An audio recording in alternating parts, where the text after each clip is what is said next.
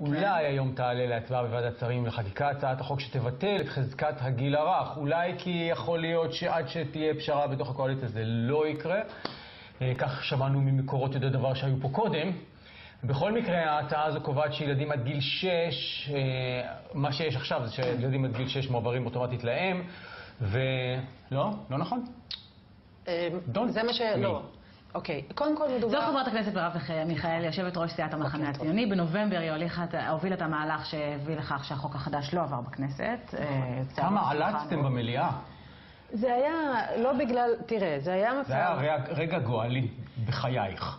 לא, אני, א', אני, אתה יודע, לא, תראה אותי שם בתמונות העליצות, לא? אבל אה, לא, אוקיי. תעבור על זה, אבל זה לא העניין, העניין הוא שהשמחה הייתה על זה שהצלחנו להפיל חוק של הקואליציה, בוא, אוקיי. אנחנו, זה היה בתחילת המושב הזה, השמחה הייתה קודם כל מזה. צריך להגיד משהו, אה, אנחנו לא מדברות ומדברים מספיק על הילדות והילדים, זה הסיפור פה, חברות וחברים. השאלה היא מה קורה כשזוג מתגרש, יש ילדות וילדים, והם לא מסכימים ביניהם. כי כשיש הסכמה, המדינה לא מתערבת למי הולכות והולכים הילדים. כשיש, כשזוג מתגרש ומגיע להסכמה, אין בכלל שאלה, המדינה זה לא עסק שלה. יש סטטיסטיקה של כמה זוגות מגיעים להסכמה? הרוב המכריע הם בהסכמה.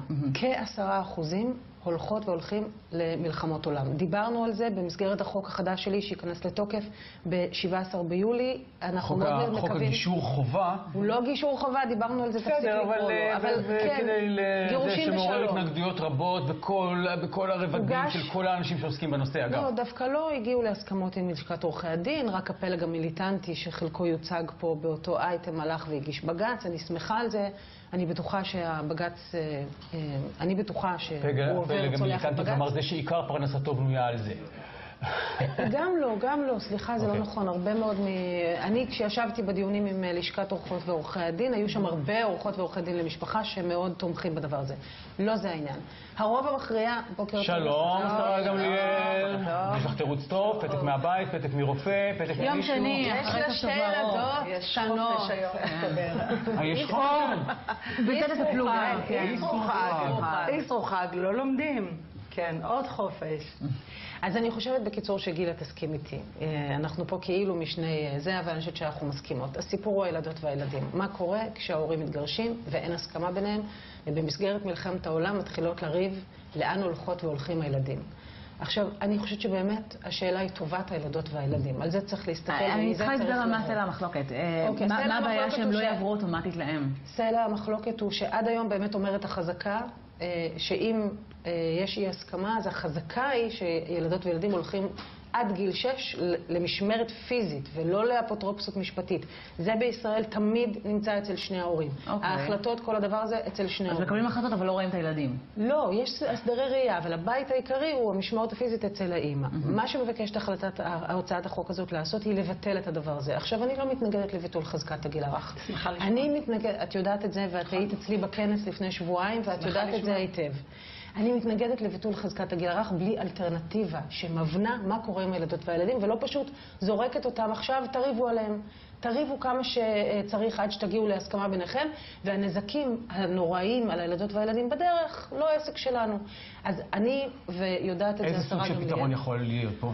צריך להבנות את הקריטריונים. מה קובע שהשופט או שופטת באה Mm. להצטרך לקבל את ההחלטת, אה, את המשפט שלמה הזה, מה יעמוד לנגד עיניה?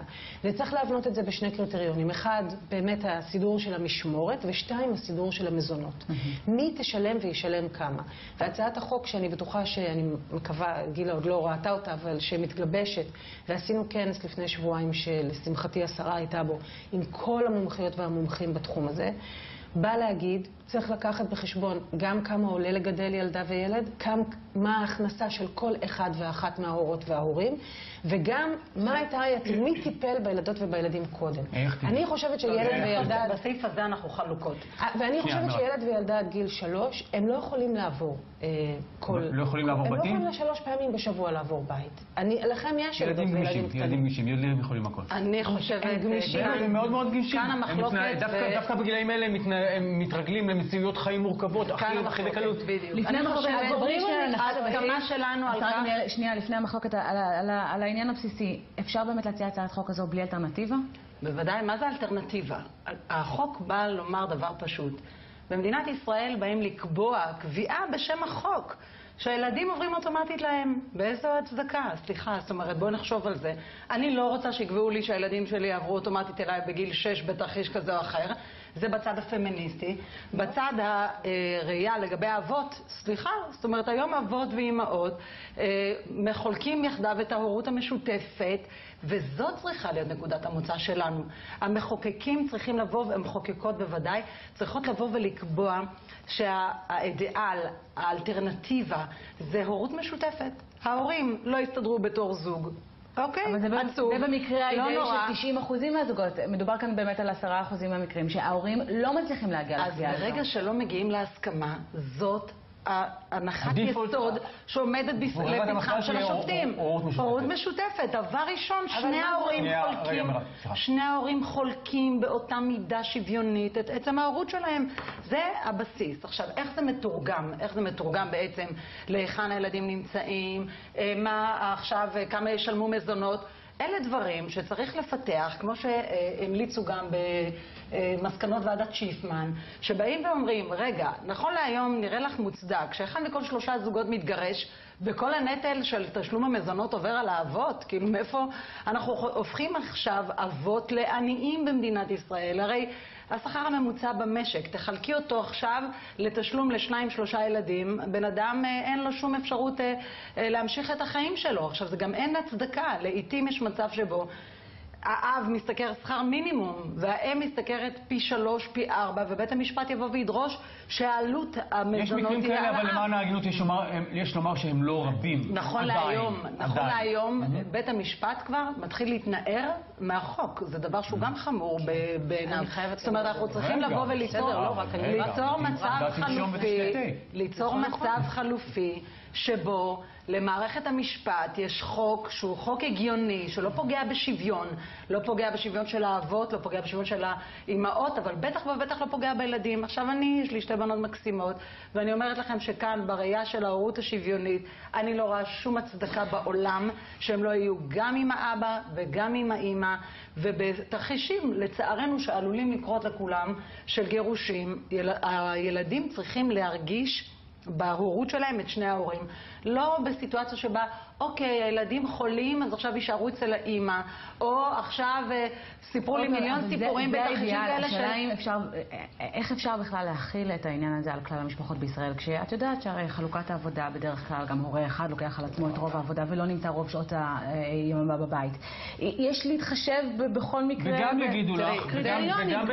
וגם בנוסף נאמר גם שלא כל הגברים עברו את האבולוציה ההתפתחותית יפה. והפכו להיות טיפוליים וזה וזה, והם ש- חלקם נשארו א', בדור לזה- הקודם. לזה מה שהתכוונתי שכאן אני וחברתי חלוקות, זה בעניין שבו רוצים לבוא לקבוע סדרי עולם. מה זה אומר? אם היה אבא שבזמן שהוא היה נשוי לא ממש טרח להיות עם ילדיו, אז בואו ננציח את זה לעולמי עד, אסור לו לטעות. אסור לו כרגע לשנות את עמדתו. השאלה אם אנחנו יכולים להכריח. אותו להביא לא. משהו שאין בו. אז מה אני אומרת? תשלם. מי שלא מעוניין להיות בתוך הקומפלקס הזה ומטיל את נטל הזה של כל אה, שעות גידול הילדים, שישלם וישלם הרבה מאוד אז כסף. למה לא ליצור את הקריטריונים האלה לפני שמעבירים את החוק? אבל, אז מה אני אומרת? אבל, א', אני אמרתי מראש שצריך לכרוך את החוקים ביחד. שילדים יהיו אצלם? אני נגד אה, הורה עיקרי ואני נגד הורה סוג ב'. אני בעד, הורים, זה ממש לא נכון. לא, זה צר לא. לי לאכזב, אבל זה ממש לא נכון. העניין הזה היום הוא לא בנמצא. היום יש לך הורים, אבות ואימהות, יחדיו מגדלים את הילדים, וזה צריך להיראות, להיות האידיאל ברור מבחינתנו במילה, היה פה קודם... בטח לא להנציח את זה. היה פה קודם אה, חבר הכנסת ביטן, יושב ראש הקואליציה, אמר שהיום זה לא יעלה. יעלה או לא יעלה? אני, זה תלוי אה, בחבר הכנסת אה, יואב קיש, הוא דיבר איתי אה, טרם החג, מנסים עדיין להגיע להסכמות רחבות. כולי תקווה שההסכמות האלה יגיעו כבר לפתחנו היום בוועדת השרים. מילה אחרונה, מירב. קודם כל זה שצריך להבין משהו. העובדה שהחוק מטיל עדיין אה, מזונות על האבא, זה בגלל שבישראל אין נישואים אזרחיים, בגלל שזה החוק הדתי, בגלל שהחוק של נישואים וגירושים בישראל הוא אך ורק חוק דתי, וזה קובע מזונות על האבא. צריך לק... לקחת אחריות על לא הדבר הזה. זה זה לא- זה לגמרי לא קשור, קשור. זה הדין אבל האישי לא במדינת לא ישראל. אפשר לשנות אבל. אי אפשר להיתמם לגבי זה. זה שאנחנו רוצות לבוא ולשנות את זה, וחד משמעית רוצות לשנות את זה. אבל צריך גם לזכור שעדיין הפער בין השכר של נשים לגברים בישראל הוא 33 אחוז לרעת אימהות. כן. כי בדרך כלל הן אלה שעובדות את המשרות החלקיות, שלוקחות את הילדות והילדים מהגן וכן הלאה וכן הלאה. אני בעד שינוי מציאות. אני הראשונה שבעד שוויון, יעידו האנשים בחדר הזה, מכירים אותי. היטב מספיק שנים. השאלה, איך עושות את זה בלי לרמוס בדרך את הילדות והילדים. ממש כבר נגמר לנו הזמן, אבל